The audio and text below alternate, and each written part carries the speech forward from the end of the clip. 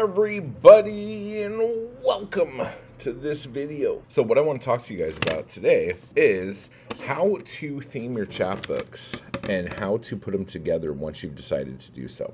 What is going on? We're doing this today because I'm looking a bit crazy. I'm going to cut my beard off today, I think. So on the last um, members only Anarchy Crew live stream, one of the questions I had was from someone who said, I'm having a hard time focusing. And again, I'm like paraphrasing this question, but um, it's a question that I get asked kind of a lot, but in different ways each time because everyone's different and doing different shit.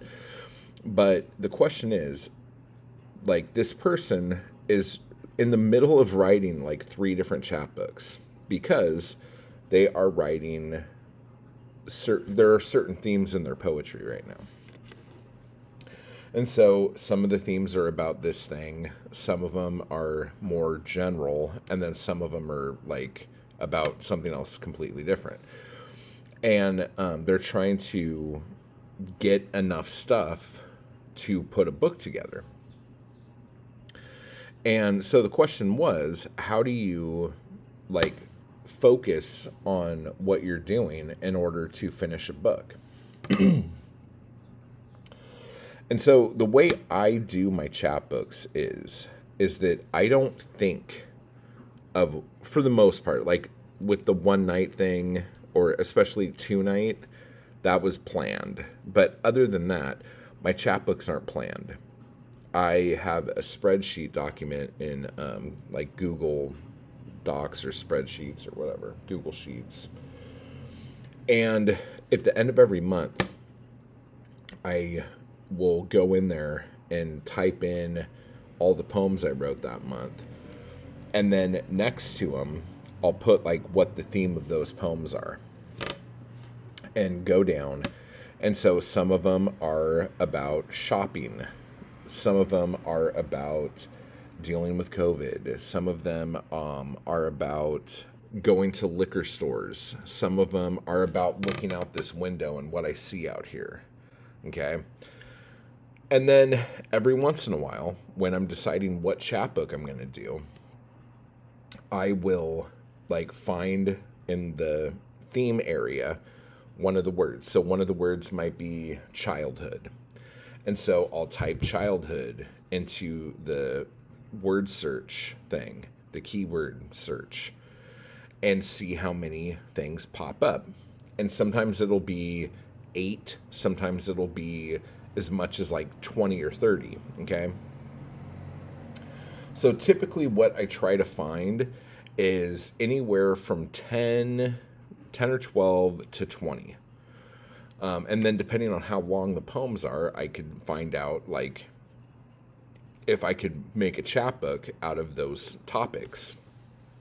And then what I'll do once I get those poems is I'll look at them and see, okay, like these are all about childhood, but is there like a, a deeper theme? Is there something that connects them more? So, for instance, like there were a lot of poems when I was putting um, Mart together. And I, in my head, thinking, well, these are all going to be about me having to go wait in line somewhere or something like that, you know, like me having to like go into any type of store. And then I realized that most of these poems are about either shopping at Walmart or going to Walmart. So then I was like, oh, okay, so this is like even narrower and is just about Walmart. Um, with my um, like desert poems. Like there are a bunch of different kinds of desert poems I have. There's the ones from the uh, going to the post office in the desert. That was like my one lifeline to the outside world when I was living off grid and stuff like that. So I have a chapbook, uh, PO Box 3054, that is just about things that happened to me at that post office. Death by Datura is about the desert trying to murder me, basically. But then the one coming out this month, um, called Off the Grid, is about my actual homestead and things that happened like I tried to make sure it wasn't things that happened inside the trailer, but like on the homestead itself. Do you see what I'm saying? So once I find the theme, I try to narrow that theme down because a lot of times what you'll end up seeing if you do stuff like this, when you do the search, thinking you're going to find like 8 to 12 poems, you're going to hit like 30 or 40 or 50. And then you're going to go, "Oh shit, like that's a lot. That's too much for a chapbook. I got to figure out like that's 50 poems is usually enough for like a book book, you know? Um, but you got to like then look at it and go, okay, what can I whittle these down to? Like, okay, these 15 poems, even though it's about this one thing, I'm drunk in all of these poems. So maybe this could be drinking or something like that. Like you you come up with different ways of doing it. So when you're putting what what I want to say to people is don't worry about the theme when you're writing. Just write. Because how human nature is and how writing poetry is, especially confessional poetry, is that as you're writing, themes will emerge.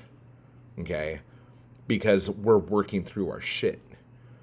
And so, depending on how much you write about any given period of your life, a lot of those things are going to fall together. Okay.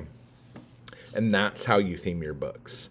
When you try to force themes, you'll notice that some of your poems are really good and some of them you just feel are like fucking like what the fuck is this? Like what you know, and you won't feel that strongly about them.